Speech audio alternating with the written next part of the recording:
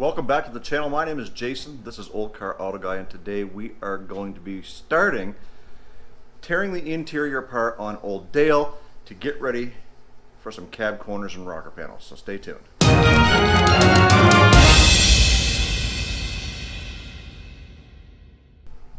So over the weekend, we were able to get in here and get things cleaned up in the garage. I've got the old Mopar kind of stuck over here against the wall a little bit, and I still got some junk to deal with here along the side.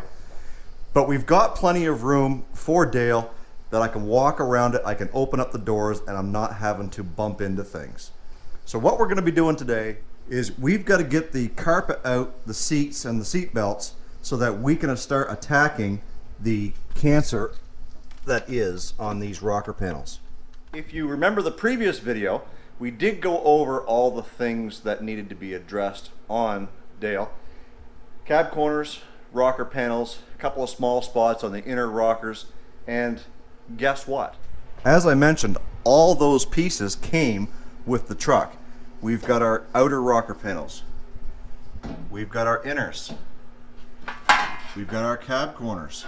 And we've got our inner cab corners. The only thing that I had to buy was these patch panels here that I can size them up as far up as I want and likely I'll go right underneath this trim so we can replace the rot that's here as well as what's starting on the passenger side.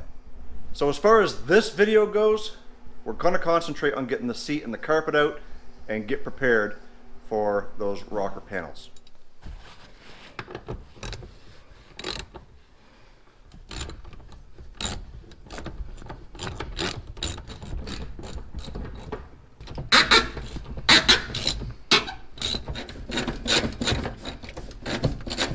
All we gotta do is get these seat belts out of the way here.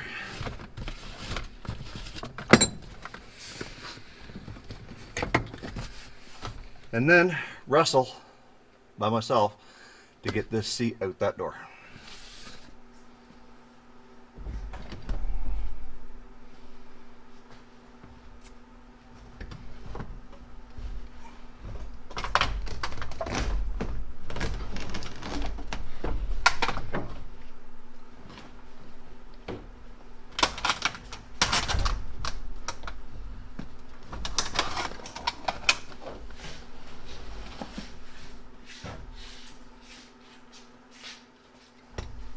That wasn't too bad, I guess. So now, in order to get this carpet out, we've got to get the sill plates off both sides and get the seat belts out on each end because there's a bolt that kind of goes right down through the carpet. So let me grab the tools and we'll get to that. Okay, so now that we've got the door sills and the seat belts out of the way, we can now pull the carpet and the underlay out and see what kind of uh, damage we may have under there.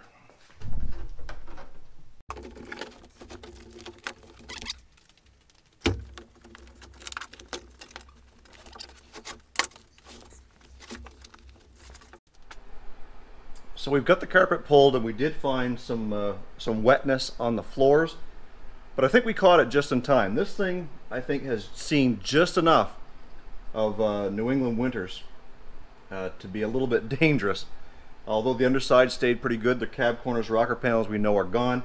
The floor is just starting to the point where the underlay is sticking to the rust that's peeling up. I think we can stop this dead in its tracks. We've got a product that we can use called Rust Off, and the rest of it seems like it's okay. We won't have to touch anything in here, just get it cleaned up. You can see that the rust is just starting its surface uh, at the surface level already. So that's all we're going to do for tonight. We're going to clean up our tools um, and call it quits for now. But when we come back, we will be uh, cleaning up the floors and getting them ready for primer and paint. So We'll be right back. Okay, it's the next night, and we're going to get this floor in uh, Dale kind of cleaned up and prepped so that we can kind of go at it with some primer and some paint. That way it will stop rusting. One of the products that we're going to use for that is something called Rust Off. And if you've never heard of this stuff, there's lots of different products out there that do the same thing. Basically, once the surface has been cleaned up, you spray it on and it converts rust into a non-rusting metal. So you spray it on there, you let it dry for probably 24 hours, which will be fine in here. So what we're doing tonight isn't gonna be a whole big process, but it will probably do up this video in preparation for the next one where we'll actually spray the floor down with some primer and some paint. So let's go through the process of what we're going to do tonight and get at it. So what we're going to do is we're going to use the scraper just to scrape off all the loose rust. We'll vacuum it up and then we're going to take our rust off and spray the surfaces both on this side as well as over there. So I think we'll do that to some music.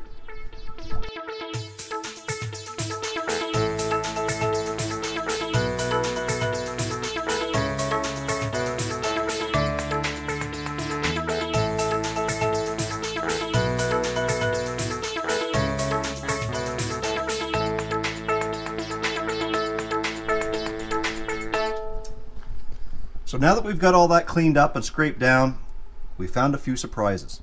We found a hole right here, which again, it should be an easy fix. We also found a couple of pinholes right here, which we'll have to fix up.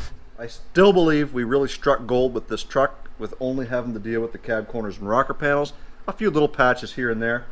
But what we're going to do right now is we're going to spray these floors down with the rust off. We've got to let that set so it dries up. And uh, so tomorrow night we'll come back, we'll finish up uh, getting this all cleaned up and maybe lay down some primer and some paint and that will stop it from rusting any further. Then we can tackle those two little pinholes and go from there. On the passenger side everything is a-okay so the floors no big surprise here other than that those two little spots uh, which we can fix up and then we can start cutting out our rockers and getting ready to put those panels in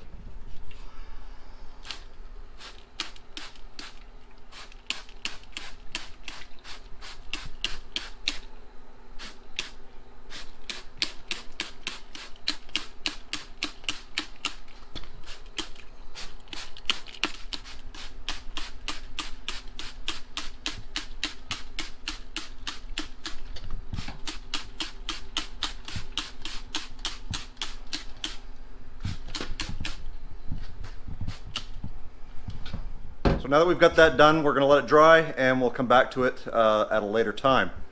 Guys, I hope you really liked this video and I hope that you uh, like the square bodies because it is my passion and I hope to share that passion with you guys. If you know of anybody who likes the Chevy square bodies or GMC square body trucks, then please share this video with them. Let them know that I'm building this truck and that we're going to make it into something. The fact that it's original paint, original motor, original transmission, we are going to lower it, as I mentioned to you guys in the last video. Those videos will be coming soon. I want to get these rocker panels and cab corners done first. That's a crappy job. And I want to get the worst part of the build out of the way first. And so we're going to be tackling these cab corners and rocker panels. I'm going to show you how I do it. I might even get some help from my dad because, well, he's done a lot of this stuff before and I'm not much of a welder as I mentioned before. I can grind a pretty good uh, weld though and uh, I guess that's what makes me a good welder, nevertheless. I hope you guys are following along. I hope you can share these videos and tell all your friends, and because uh, this is the direction of the channel from now on. T-shirts are available. There will be a new one coming up very shortly for old Dale here, and uh, it's going to have a picture of him, and uh, it'll be a nice surprise that I'll show. Uh, I'll share that with you guys likely on Instagram first, but nevertheless, they will be for sale at my Spreadshirt store. If you want to get an Olde Carr Auto Guy shirt uh, of the OG type with just Olde Carr Auto Guy on it, similar to that logo, then that link is the first one in the description box below. Guys, stay focused on the windshield, not the rearview mirror. I love you. God bless. We'll see you back here with Dale in the very near future.